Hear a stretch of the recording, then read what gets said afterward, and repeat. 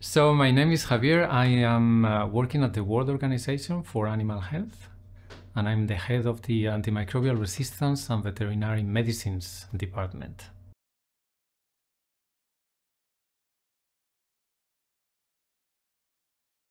The regulation is in fact is a gateway.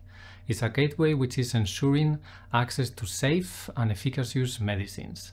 So, uh, having said that, this uh, project uh, is going to is going to uh, um, assess a tool that is going to be used by countries to develop, enhance, and strengthen these gateways, the gateways of regulation, to ensure that the innovations are the ones are reliable and are meaningful, and also that the products that will be that will be arriving into the market for both human and animal health they would be safe and efficacious. The project will focus on veterinary medicines, but the problems are always the same.